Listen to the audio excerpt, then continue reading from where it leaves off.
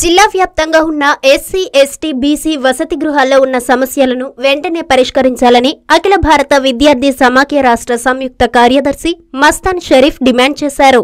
Nellore collectorate కార్యాలయం ఎదుట AISF ఆధ్వర్యంలో ఆ సంఘం నాయకులు పలు విద్యార్థుల సమస్యలపై ఆందోళనలు నిర్వహించారు. వసతి గృహాల్లో ఉన్న సమస్యలను వెంటనే పరిష్కరించాలని పెద్ద ఎత్తున నినాదాలు చేశారు. అనంతరం వారు మీడియాతో మాట్లాడుతూ జిల్లా వ్యాప్తంగా ఖాళీగా ఉన్న వార్డెన్ కుక్ తదితర పోస్టులను వెంటనే భర్తీ చేయాలని కోరారు. దోమల బెడద లేకుండా వసతి గృహాల్లో కిటికీలకు మెస్లు ఏర్పాటు చేయాలని విద్యార్థులకు పెండింగ్లో ఉన్న డైట్ కాస్మెటిక్ బిల్లులను విడుదల చేయాలని డిమాండ్ చేశారు. సమస్యలు పరిష్కారం చేయకపోతే పోరాటం ఉధృతం చేస్తామని మస్తాన్ షరీఫ్ హెచ్చరించారు. ఈ కార్యక్రమంలో ఏఐఎస్ఎఫ్ జిల్లా అధ్యక్షులు కిషోర్ టౌన్ ప్రెసిడెంట్ వర్మ ప్రసాద్ వెంకటేష్ తదితరులు పాల్గొన్నారు. నా పేరు ఎస్కే మస్తాన్ షరీఫ్ అఖిల భారత విద్యార్థి సమాఖ్య ఏఐఎస్ఎఫ్ రాష్ట్ర సహాయ కార్యదర్శి. ఈరోజు రాష్ట్ర వ్యాప్తంగా ఏఐఎస్ఎఫ్ ఆధ్వర్యంలో అన్ని కలెక్టరేట్ల వద్ద నిరసన కార్యక్రమాన్ని చేపట్టడం జరుగుతూ ఉంది. దీని ముఖ్య ఉద్దేశం ఈరోజు రాష్ట్ర వ్యాప్తంగా ఉన్న ఎస్సీ ఎస్టీ బీసీ మైనార్టీ సంక్షేమ వసతి గృహాల్లో అనేక సమస్యలు ఉన్నాయి ఈ సమస్యల పరిష్కారం చూపాలని చెప్పేసి ఏఐఎస్ఎఫ్ కోరుతా ఉంది. అదే పద్ధతుల్లో ఏఐసీఎఫ్ ఆధ్వర్యంలో జూలై ఇరవై తేదీ నుండి ముప్పై తేదీ వరకు హాస్టళ్ళ సందర్శన జరిగింది. ఈ హాస్టళ్ళ సందర్శనలో అనేక ఇబ్బందుల్ని విద్యార్థులు చెప్పడం జరిగింది.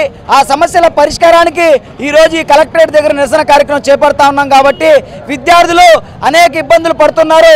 ముఖ్యంగా బీసీ ఎస్సీ ఎస్టీ మైనారిటీ గురుకుల పాఠశాలల్లో అనేక ఇబ్బందులు ఉన్నాయి అందులో బీసీ వసతి గృహాలు రాష్ట్ర వ్యాప్తంగా దాదాపు తొంభై శాతం అన్నీ కూడా అద్దె భవనాల్లోనే ఉన్నాయి. అదే పద్ధతుల్లో ఎక్కడ కూడా కనీక కనీస మౌలిక వసతులు కూడా లేవు.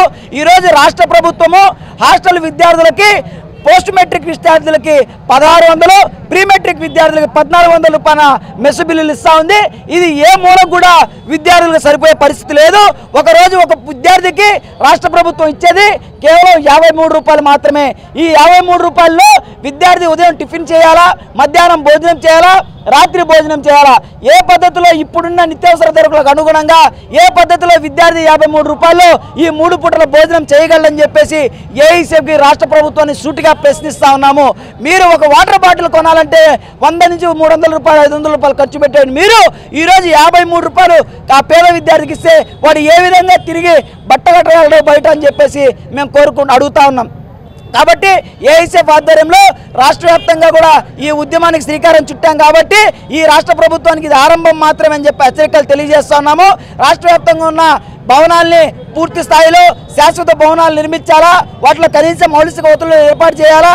ఖాళీగా ఉన్నటువంటి కుక్కు కామాటి వార్డెన్ పోస్టులను భర్తీ చేయాలా? అదే పద్ధతిలో గురుకుల పాఠశాలలో సీట్ల శాతాన్ని పెంచాలా? అదేవిధంగా లక్షల రూపాయలు వసూలు చేస్తున్నటువంటి ప్రైవేటు హాస్టల్ని కూడా తనిఖీ చేసి ఆ విద్యార్థుల సమస్యలను కూడా పరిష్కారం చేయాలా? అదేవిధంగా కార్పొరేట్ ప్రైవేట్ జూనియర్ కాలేజీల్లో సమయాలు ఉదయం ఎనిమిది ఏడు నుంచి సాయంత్రం ఏడున్నర వరకు విద్యార్థుల్ని క్లాసుల పేరుతో ఇబ్బందికి గురి చేస్తా ఉన్నారు. దాన్ని ఈ రాష్ట్ర ప్రభుత్వం ఒకసారి పరిశీలించి ఖచ్చితంగా ఉదయం తొమ్మిది నుంచి సాయంత్రం ఐదు వరకే క్లాసులు రన్ చేసే పద్ధతిలో చర్యలు తీసుకోవాలని చెప్పేసి ఏఐసీఎఫ్గా డిమాండ్ చేస్తూ ఈ ధర్నా కార్యక్రమాన్ని చేపడతా ఉన్నాం. నారాయణ మాతృసేవా పథకం అమ్మతనానికి కమ్మనైన పథకం. సుమారు పదిహేను వందల విలువ గల నారాయణ బీబీ హెల్త్ కిట్ ఉచితం. అవుట్ పేషెంట్స్కు ప్రతి నెల డాక్టర్ ఫీజు ఉచితం. అల్ట్రాసౌండ్ స్కానింగ్ ఉచితం. గర్భిణీ స్త్రీలు కాన్పు కోసం కానీ ఇతర అవసరమై హాస్పిటల్లో చేరినప్పుడు బెడ్ ఛార్జీలు ఉచితం. ప్రాథమిక వైద్య పరీక్షలు ఉచితం. మందులు ఉచితం. బ్లడ్ బ్యాంక్ నందు అవసరమైన వారికి రక్తం ఉచితం. ఐదు నుండి తొమ్మిది నెలల గర్భిణీలకు ప్రతి నెల చెకప్ సమయంలో ఉచిత డ్రై ఫ్రూట్ బాక్స్ మరియు వేరుశెనగ చిక్కీలు ఉచితంగా ఇవ్వబడును. బిడ్డ పోషణ నిమిత్తం తల్లికి మూడు వేల రూపాయల నగదు అందించబడును. కాన్పు కోసం అంబులెన్స్ ఉచిత పికప్ సదుపాయం కలదు నెల్లూరు నగర పరిధిలో. నారాయణ మాతృసేవా పథకం నెల్లూరు.